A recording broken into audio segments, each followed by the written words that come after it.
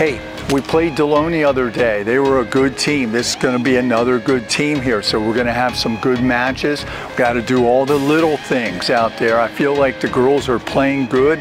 Hopefully we can steal a couple victories today in the singles arena. All right, it's one, two, three. Greyhounds!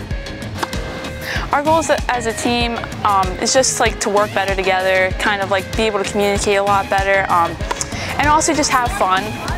I definitely got better at my tennis skills, along with just kind of my attitude about tennis. I've started being less anxious, and now I feel a lot more comfortable in playing the game. To be a part of the York Country Day tennis team is to kind of have teammates that you can rely on.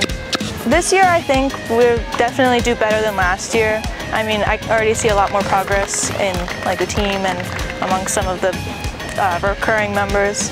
I think we got a pretty good shot this year.